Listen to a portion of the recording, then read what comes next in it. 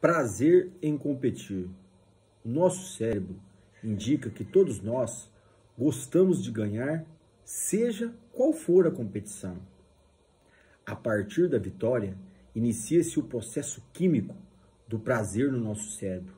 Vencer é um sinônimo de sobrevivência e passar aos nossos genes a possibilidade de avançar para a próxima geração.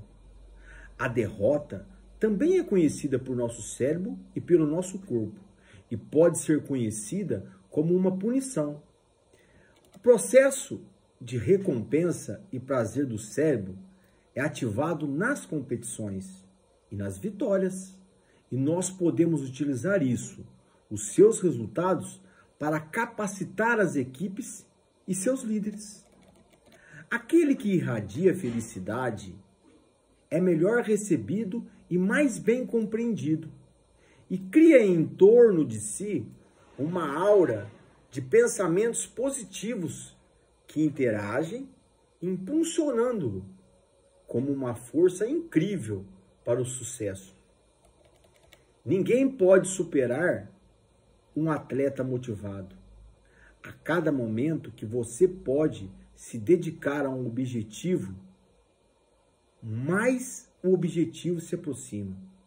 Assim é a vida de um atleta. A persistência e o prazer em competir lhe torna vitorioso. Nunca desperdice essa base esportiva que existe em você. Vá rápido, quanto puder. Vá devagar, quando necessário. Mas o importante é manter-se no foco, no jogo e na vida. Continue nessa direção. Não pare nunca.